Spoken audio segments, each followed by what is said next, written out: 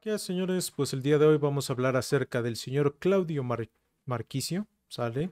Es una carta que en su momento, la carta anterior a esta salió y era un costo súper elevado. Para lo que te pedían era básicamente un robo. No era una mala carta, pero era demasiado lo que te pedían por ella. Aquí, por ejemplo, es un elevado elevado, es un 5-5, es un héroe, 3 de química, un 80, sí se nota la altura un poco, eh, pero las características van orientadas a un box to box. Ahora, ¿el, jugador puede funcionar por la banda? Sí, pero va a ser un jugador muy físico. Y de hecho ahorita vamos a hablar de otros aspectos. Creo yo que funciona más como un box to box, tiene buena velocidad, tiene buenos tiros y a pesar de que tiene regate, no es un jugador que sea particularmente ágil. En muchas de las ocasiones en las que los vi, al jugador le costaba girar, le costaba hacer movimiento, le costaba soltar el balón, tardaba para hacer ciertos movimientos y eso a mí en lo personal me desespera porque ahorita se está jugando un estilo de juego con unas, con unas instrucciones donde todo se te van encima y el hecho de que tengas un jugador que no pueda girar no es lo más recomendable. Sí, puedes recibir el balón, soltar el, balón de nuevo hacia atrás, pero es no es lo ideal, ¿no? En cuestión de rasgos del jugador, tiro con estilo, pases elegantes, tiene de alguna manera eh, aspectos de ofensivos que se pueden destacar, ah, pero vamos a ver la cuestión de la carta. 739 mil monedas es elevado, no creo que... Me gusta más este de 640 mil monedas, de hecho, por 500 se me, hace bastante accesible, pero 739 se me hace un poco elevado.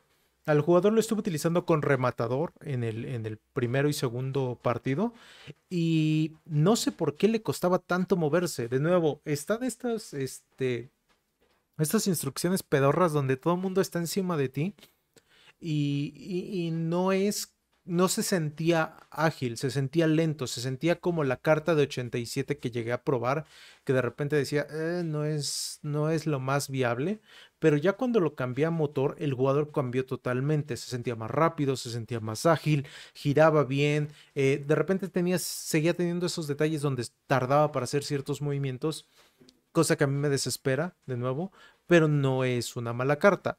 Simplemente siento que el costo es muy elevado para lo que ofrece. Eh, de nuevo, 640 monedas se me hace un poquito más accesible, 500 mil se, me, haría perfecto. Eh, sería cuestión de ver si llega a bajar o cambiarle el, la restricción de, de, precio. Pero de nuevo, para mí, creo que en el meta en el que estamos, el hecho de tener jugadores que no giren o que les cueste girar o que tomen un poquito para soltar el balón, no es lo ideal. Como tal, se me hace una buena carta, pero diría que es opcional, por decirlo así. Pero bueno, vamos a mostrar lo que hicimos con el jugador dentro del juego y regreso. Que recupera el señor Marquis, Marquicio. Uy, ese control de balón que... Ahí otra vez recupera. Ese centro. Recibe. Ese pase que... No entiendo qué está pasando con los pases. El jugador se supone que debería de ser un boost de... Ah, en cuanto a la carta anterior. Y no sé, siento que es igual.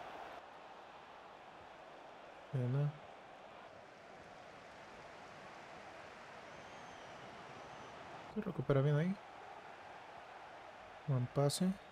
Trata de subir. Ahí obviamente ya no me dio tiempo de girar. Pero trata de subir. Eh, el, problema es de que no me siento muy cómodo con, la carrera que hace. Eh, digo, la agilidad que tiene. O sea, si le llegara a pasar al balón, siento que va a tardar mucho para, para hacer algún movimiento. No, ahí. De nuevo, siento que toma mucho tiempo para realizar ciertos movimientos. De por sí ya la tenía la, la versión anterior la versión, no, no la, la, carta anterior a esta, sino otra, eh, la de héroe, me parece. Bueno, todas son héroes, pues a lo que quiero decir es de que eh, se notaba no tan marcado en, en ciertos, eh, en esa carta, porque obviamente las cartas eran un poquito más toscas en su momento.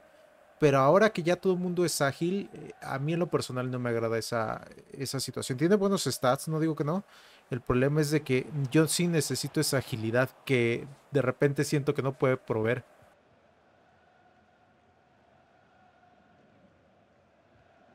Otra vez de nuevo. Vi al jugador arriba. Quise darle el balón, pero tardó en soltarlo. Qué buen tiro. Se acomoda bien. Ahí sí hace todo el movimiento. Pero de nuevo, no le estoy pidiendo ningún movimiento como que especial o preciso. Por eso no hay problema ahí.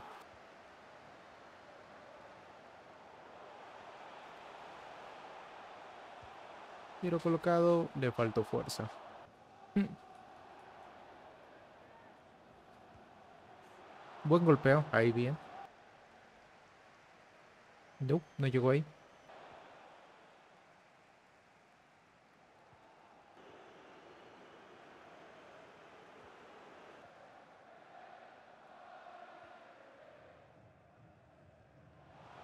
La carrera. Excelente definición. Sí, fue, no fue green time, pero aún así siento que debió haber sido gol.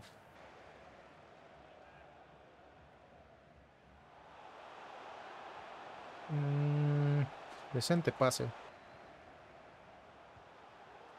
Ay, no, casi era gol. Pero excelente tiro. De hecho, ahorita que lo estoy utilizando con motor, el jugador se siente infinitamente mejor. No sé a qué se deba. Pueden ser varias variables, pero eh, el jugador me está gustando más con motor porque se siente ágil, se siente rápido, se siente móvil, ya no toma tanto tiempo para hacer ciertos movimientos y esa parte me agrada porque sí ya se siente como un jugador eh, importante dentro del juego, por decirlo así. No, otra vez, Marquicio. ¿En serio?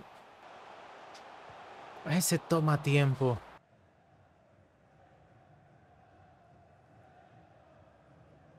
Un seguimiento. Bueno. Último tiro. Debió haberle tirado con tiro colocado. Está. Ahora que, de nuevo, ahora que está con motor, el jugador lo siento mucho más activo dentro del medio campo. Sí hace trabajo defensivo como ahorita. Ya no se siente tan tosco. Entonces, un plus ahí. A ver, recupera. Buen tiro.